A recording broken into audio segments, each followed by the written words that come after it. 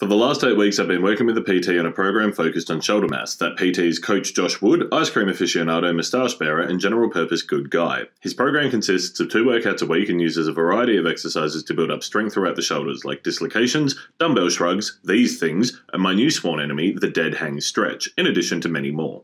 This was also an online program. Online PT is great as long as you're ready to put in the work for it. While you lack the direct face to face contact of a standard PT session, you get to test things out at your own pace and find your own comfort with it, and you also have the full flexibility of fitting it into your own schedule rather than needing to find a compatible time with a trainer.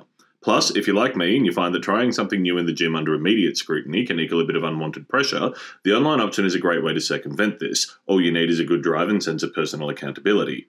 Good online PT relies on good communication from both parties, and Josh was excellent at reviewing my workout notes, offering suggestions and improvements where needed, encouragement for good effort put in, and celebration as good results started revealing themselves. And let's talk those results. After eight weeks on this program, I've hit 95 kilos on my overhead push press against an 80 kilo start, or 118.75% of the starting weight, and also 80 kilos on the overhead strict press against the 60 kilo starting weight, or 133%. That's a nice quantification of good results, but above all else, I just feel really strong too. Josh is far better at advertising himself than I am, but I'd say if you're interested in working with someone who knows his stuff and can net you some great improvements, head on over to his profile